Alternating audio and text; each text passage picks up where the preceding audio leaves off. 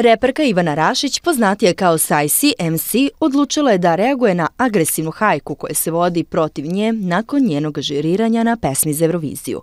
Poznata dama našla se na meti uvreda i pretnji jer je pesmi Gnezdo Orlovo, koje je izvodila Breskvica, dala nula poena. Poznata reperka, međutim, zbog brojnih neprijatnosti, odlučila da se pravno zaštiti. Krenule su da se šire neke laži, jako, jako velike neistine za mene. Moram da apelujem na sve njih da ću morati pravno da reagujem. Pređene su sve granice, crvena linija je pređena i to se neće tolerisati, rekla je ona. Pobjasnila šta joj je najteže palo.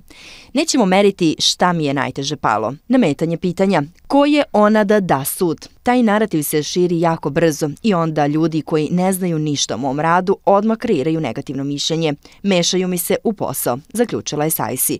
Ona je na društvenoj mreži Instagram napisala da će tužiti sve one koji su širili laži i pretnje na njen račun.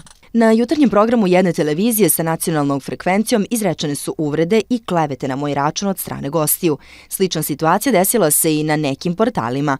Apelovala bih na medije kao i sagovornike za pristojnost i smirenost, jer sam već bila prinuđena da kontaktiram advokata povodom tih izjava, napisala reperka na svom Instagramu. Ovim povodom hitno se oglasio vlasnik i direktor Hype produkcije Saša Mirković.